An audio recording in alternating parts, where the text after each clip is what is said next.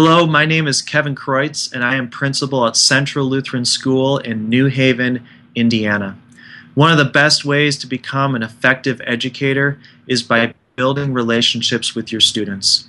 Each one of your students should feel safe and secure in their classroom.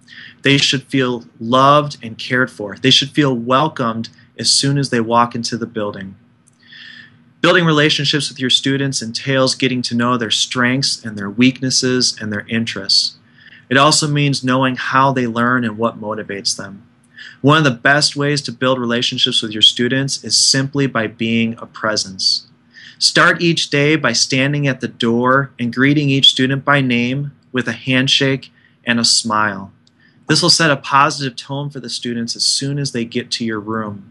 And who that may be the first time a student is called by name or smiled at that day. Being at the door is just a start. Be a presence the rest of the day. Avoid the temptation to teach from the desk, sit behind a computer, or grade papers while they're working. Teach from the front, the back, the center of the classroom. Walk among the students while they are working.